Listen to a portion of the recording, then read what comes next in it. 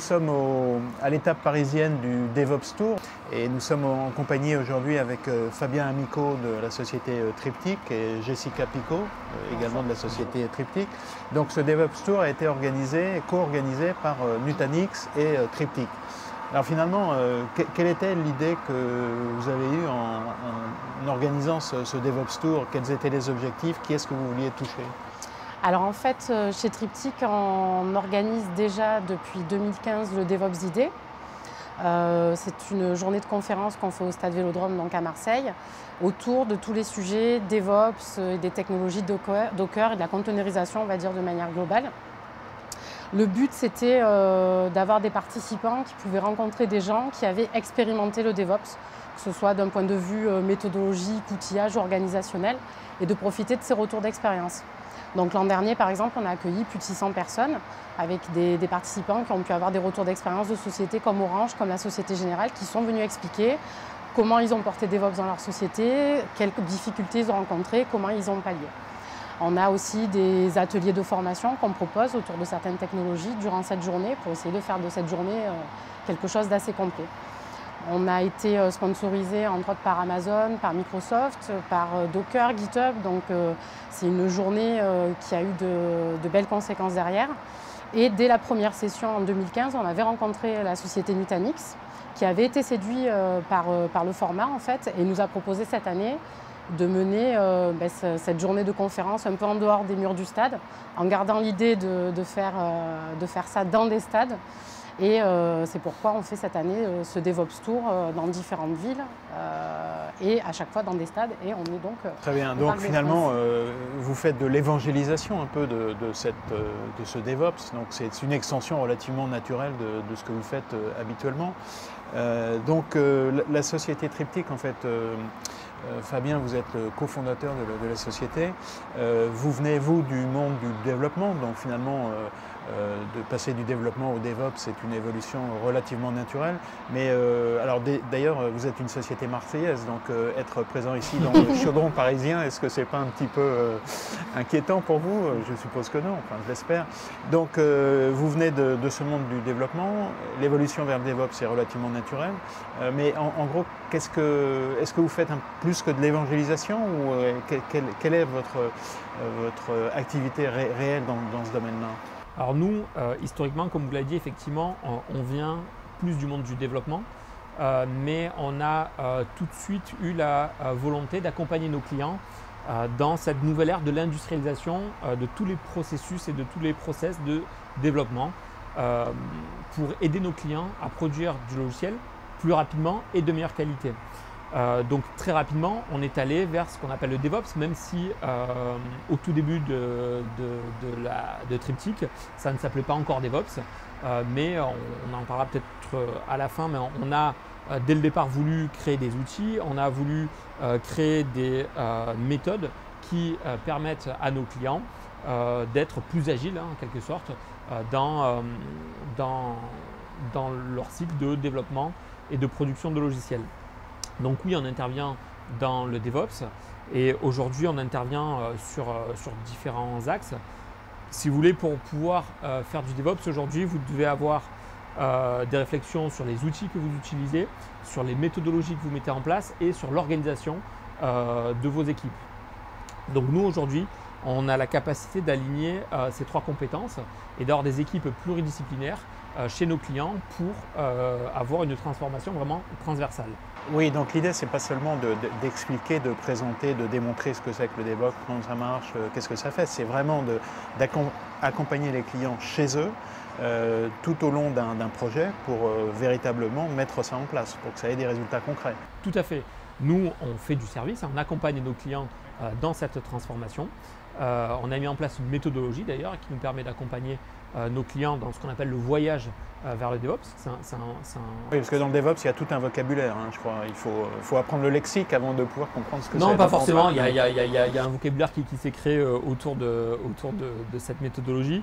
Mais on parle de voyage parce que c'est un, une transformation qui peut être longue. On ne peut pas faire ça euh, au coin d'une table et cocher la case DevOps après une journée de formation. Hein.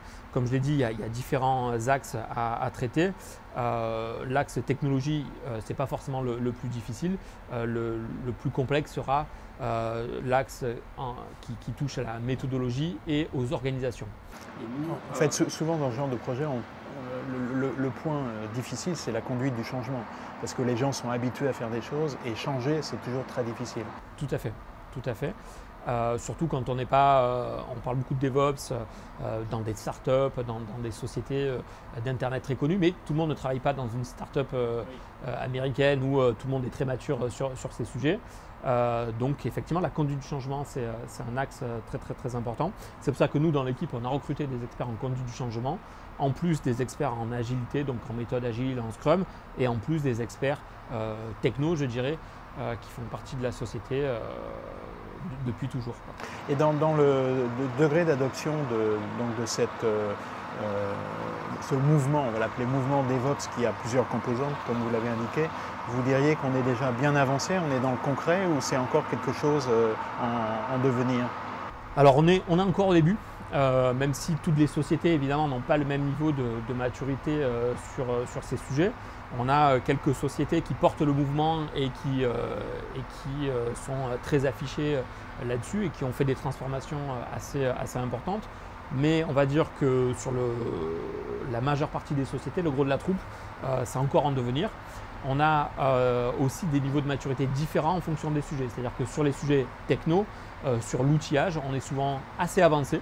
Euh, lorsque nous on intervient chez nos clients, on se rend compte que euh, l'outillage d'intégration continue, de déploiement continu, euh, de tests sont des sujets qui sont déjà traités ou en cours de, traitement. Hein. Il, y a, des réflexions assez avancées là-dessus. par contre, sur l'agilité ou sur les modifications en profondeur de l'organisation des équipes, là ce sont vraiment des sujets très nécessaires. Il y a encore du travail. Et, pour les clients qui sont les plus avancés, donc qui ont mis en place des projets, euh, est-ce que finalement la, méthode DevOps est, probante ou est-ce qu'il y a encore des aménagements à faire? De notre expérience, euh, la méthode elle est probante, même si euh, on ne peut pas parler d'une méthode bien définie en tant que telle. Il n'y a pas une méthode comme c'est pas une méthode comme peut l'être Scrum, hein, où il y a une méthode bien définie où on, a en quelque sorte des guidelines pour, pour l'appliquer. il n'y a pas vraiment une méthode DevOps à appliquer. C'est vraiment au cas par cas. Euh, c'est plus une culture à, adopter. Et lorsqu'on réussit à rentrer vraiment dans cette culture et que euh, lorsqu'on a l'appui du management pour, euh, mettre en place cette transformation, oui, les résultats sont au rendez-vous et les résultats peuvent être de tout ordre. Et ce sont des choses que l'on définit, hein. on a des indicateurs à mesurer que l'on définit en début de mission avec nos clients. parfois, ce sont des problématiques de delivery, il faut délivrer plus rapidement pour être plus performant sur son marché. parfois, on a des problématiques de qualité euh, que l'on doit mesurer, ou parfois euh, un sujet euh, complètement différent, on a des problématiques de recrutement dans les équipes, on a des développeurs qui, sont en démission, qui ne sont plus motivés, des, gens qui partent de la société. il faut réussir à impulser une volonté dans, dans l'équipe et ça passe aussi par, euh, par du DevOps. Très bien. Alors donc on vient de le voir, hein, vous, en tant que société Triptyque, vous êtes euh, impliqué dans, dans, dans, tous les compartiments de, ce mouvement DevOps. Donc il y a la méthodologie, il y a la, conduite du changement, il y a l'organisation, et puis il y a aussi l'outillage. Alors l'outillage c'est un, domaine un, peu différent des autres parce qu'il est, il est un peu technique. Est-ce que vous, vous êtes aussi impliqué dans, dans ce domaine-là? Alors oui, on est impliqué puisqu'on on propose nous-mêmes une solution. Que vous avez développée vous-même? Voilà, qu'on a développée euh, depuis euh, maintenant 4 ans, Cloud Unit. Euh, je te laisse en parler peut-être mieux que moi. Non, oui, effectivement, donc on développe, on développe un outil qui s'appelle Cloud Unit, qui est une brique qui s'inscrit parfaitement dans, le DevOps, donc qui est à destination des développeurs et des opérationnels. Hein. C'est une brique qui va permettre euh, de trouver une sorte de certaine synergie hein, entre les équipes et qui permet d'industrialiser euh, les développements et d'automatiser les phases d'intégration continue, de déploiement continu. Alors c'est un outil qui est euh, basé sur Docker. On est, on est le principal partenaire en France de, Docker hein, sur le volet formation et conseil. Et donc naturellement, on a basé notre solution sur Docker. parfois, je dis aussi que c'est euh, le chemin le plus simple euh, vers Docker pour, pour nos clients. étant donné qu'on va se, positionner au-dessus de l'outillage Docker. Et donc pour les développeurs, il y a zéro courbe d'apprentissage. vous allez pouvoir créer vos environnements d'exécution, déployer vos applications et avoir tout un outillage de monitoring et de l'analytique sur vos applications euh, très très simplement, juste en cliquant et en déployant vos applications, euh, ça se fait vraiment euh, naturellement. Très bien. donc à, l'issue de ce DevOps Tour, là, quelles sont pour vous les, prochaines étapes? Est-ce qu'il y a encore des, manifestations importantes? Qu'est-ce que, vous avez en tête déjà? Alors là, déjà, on a dépassé un petit peu la, moitié, on va des, dates du DevOps Tour. On est assez content du, résultat et des gens qui viennent nous rencontrer sur ces, sur ces dates. Euh, on est de manière générale euh, très actif euh, au niveau de la communauté DevOps et Docker. On porte plusieurs meet-up. on porte le meet-up Docker ex-Marseille, on porte le meet-up Rancher sur Paris, le meet-up DevOps en Provence de manière globale. De la même manière que vous avez dit tout à l'heure, pour nous, c'est important d'évangéliser, de mettre en relation les personnes parce qu'on est quand même sur quelque chose qui est en devenir et il faut encore beaucoup en parler euh, avant de, donner l'opportunité à certaines sociétés de nous rejoindre dans le mouvement et de les accompagner. Euh, donc aujourd'hui, euh, Triptyque, c'est tous ces événements-là. On est 25 personnes. On a deux agences sur Aix-en-Provence et sur Paris. On a une agence qui est en création à Montréal, parce qu'on a été appelé à aller parler de ces sujets-là aussi au Canada. Et euh, donc, on est, on est en plein recrutement euh, de, talents côté développement, côté ops. Euh, et on espère aussi avoir des, retombées de ce point de vue-là avec ces événements. C'est amusant quand vous dites on a une agence à Paris, parce que nous, Parisiens, on a plutôt tendance à dire on a des agences en province. Donc c'est un peu le renversement, mais bon, vous êtes basé à Marseille, c'est normal. Je crois qu'on a fait un tour assez complet. Fabien, Jessica, merci beaucoup. Merci, merci à vous. Merci.